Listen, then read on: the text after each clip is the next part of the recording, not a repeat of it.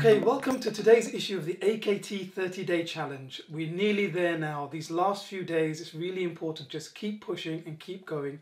We're almost there. So let's start as ever with a high yield question. Here we go.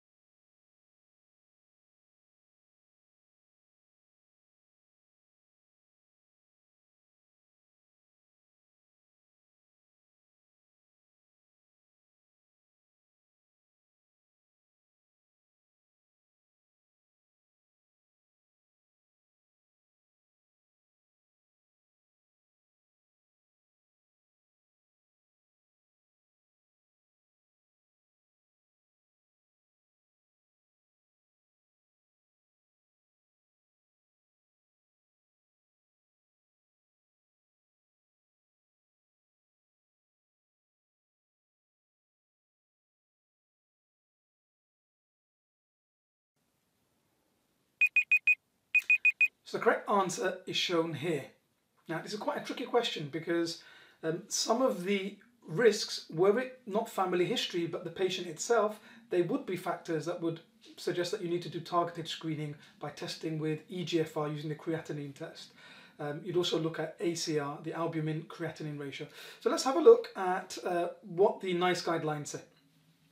So what they say is that it's not worth doing population level screening, but targeted screening from patients who are in at-risk groups is worthwhile. So the kinds of patients that we should be targeting for testing with EGFR creatinine uh, would be anyone with diabetes, whether it's type 1 or type 2, anyone with hypertension because they're at high risk, people who've had an acute kidney injury or a history of acute kidney injury, um, established cardiovascular disease, so ischemic heart disease, chronic heart failure, uh, stroke, um, that kind of thing obesity, but only if they have metabolic syndrome. Obesity on its own is not one of the criteria. We'll come back to what we shouldn't test for in a minute.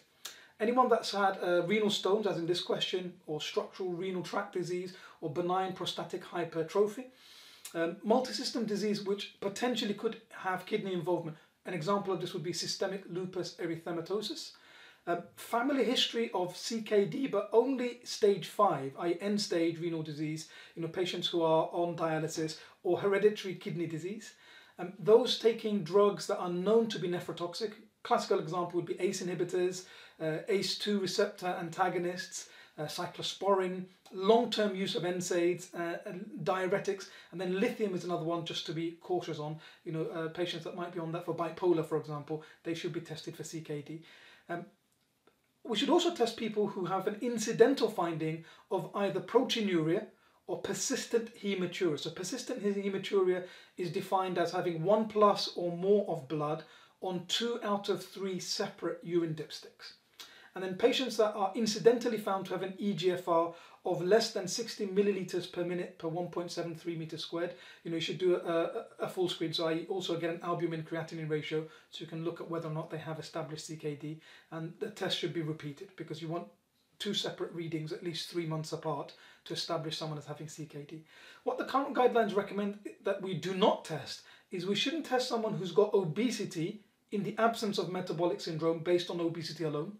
We shouldn't test anyone just because of their age, just because of their gender, and just because of their ethnicity alone, even though they might be from ethnic groups that we know have increased rates of or incidence of chronic kidney disease, that unless they've got one of the other risk factors that we mentioned, that's not an indication for testing. So I hope this has been useful and do join us again tomorrow for another issue of the AKT 30 Day Challenge. Thank you.